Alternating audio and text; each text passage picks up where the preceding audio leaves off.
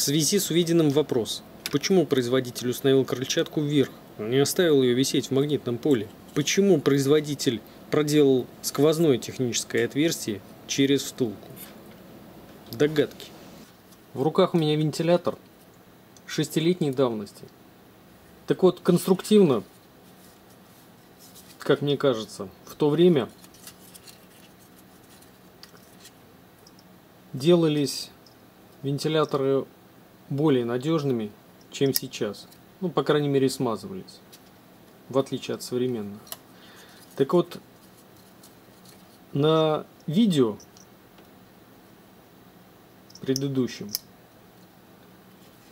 было видно, что вентилятор располагался крыльчаткой вверх.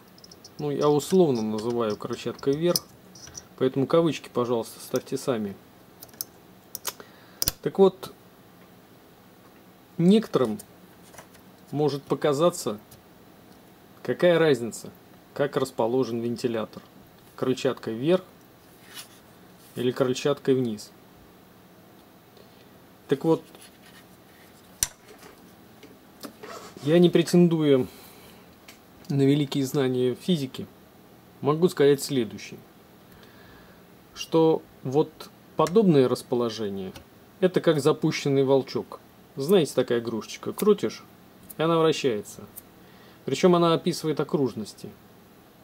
То же самое происходит и здесь, при подобном расположении крыльчатки.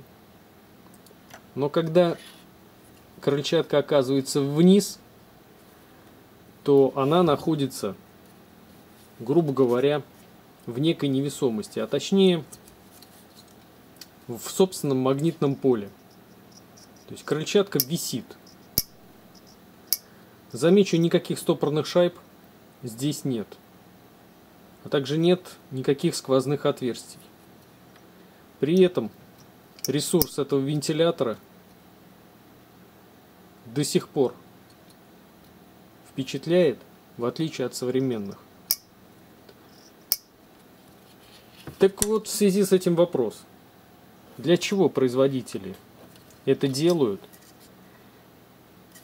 Или это современный инжиниринг?